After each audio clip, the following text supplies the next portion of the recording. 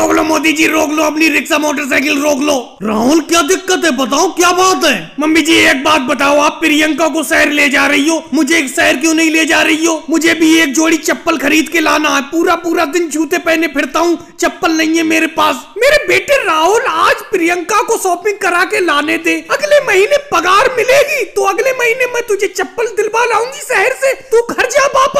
लेकिन मम्मी जी मुझे चलो कुछ मत दिलवाना। लेकिन मोदी जी की इस मोटरसाइकिल रिक्शा गाड़ी पर बैठा के ले चलो। राहुल, इस पर बैठने की जगह नहीं है। इस पर सिर्फ़ तीन ही लोग बैठ सकती है और तीन लोग बैठे हुए हैं। तुम्हारी बहन प्रियंका, सोनिया जी और मायावती जी। अरे राहुल, तुमने पंगा कर दिया। तुमने बेफालतू में मुझे यहाँ पर रोक लिया। देखो अखिलेश इंस्पेक्टर जी आ गए। अब ये बड़ा दिक्कत करेंगे। मोदी जी, सही टाइम पे मिले। बहुत दिन से मैं आप ही का इंतज़ार कर रहा था। बोलो, अखिलेश जी, क्या बात है? क्या दिक्कत है आपको मुझसे? मोदी जी, मुझे पता तो बहुत दिन का था कि आप रोड पर अमान्य चीज़ चला रहे हो। आज देख भी लिया। आपने ये मोटरसाइकिल में पीछे रिक्शा लगा दिया है। इस मोटरसाइकिल रिक्शा गाड़ी को तुम्हें चलाने का रोड पर परमिशन है। अरे मोटरसाइकिल पे तो सिर्फ़ दो ही लोग बैठ सकते हो। तीसरा आदमी भी बैठता है, चालान कट जाता है और तुम कुल मिलाकर चार लोग बैठे हुए हो। तो तुम्हारी मोटरसाइकिल का चालान काटना पड़ेगा। लेकिन अखिलेश जी, आप मोटरसाइकिल को तो देख रहे हो, पीछे तो रिक्शा लगा हुआ है मोटरसाइकिल के। रिक्शे पर तो मैं तीन या चार कितने भी आदमी बैठा सकता हूँ, उसका चालान थोड़ी कटेगा।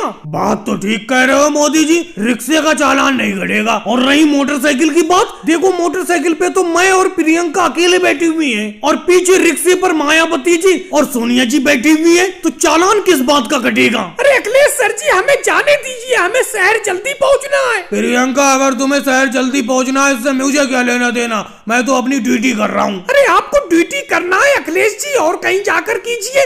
यहीं पर ड्यूटी करने को रह गए हो। बेफालतू में हमें परेशान कर रहे हो। मायावती जी आप चुप रहिए।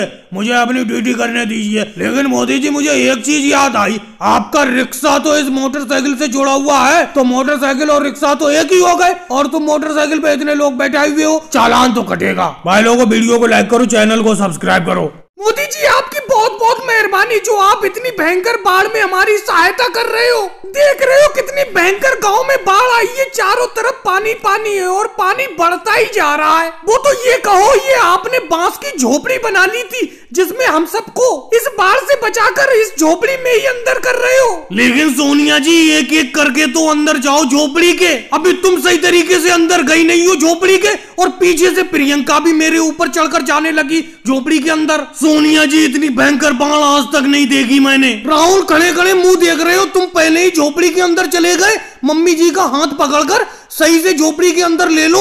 देख रहे हो बारिश बढ़ती जा रही है। मैं तो पूरी तरीके से भीगा जा रहा हूँ। अरे मम्मी जी तेज़ी से गुनाहो इस झोपड़ी के अंदर। कैसे हल्के हल्के आ रही हो? मोदी जी बेचारे पानी के अंदर खड़े खड़े परेशान हो गए और देख रही हो पानी भी बढ़ता जा रहा है। कहीं मोदी जी के गर्दन तक पानी आ जाए। राहुल पानी गर्दन तक आ जाए कोई दिक्कत नहीं है।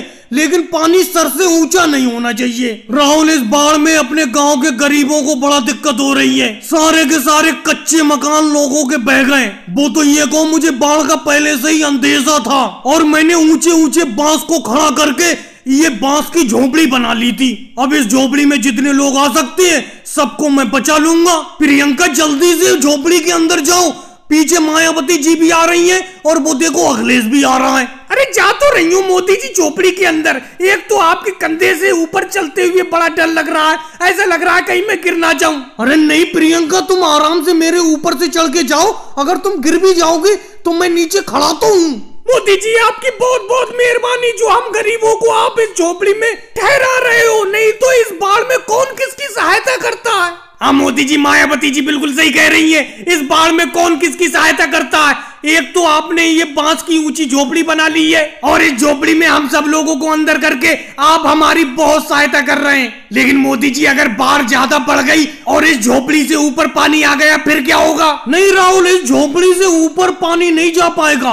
ये मुझे पूरी उम्मीद है। और मुझे किस बात का धन्यवाद दे रहे हो? ये तो मेरा फ़र्ज़ है। अरे, इस विपदा में मैं तुम्हारी इतनी सहायता नहीं करूँगा तो क्या करूँगा? और भाई को वीडियो को लाइक करो, चैनल को सब्सक्राइब करो।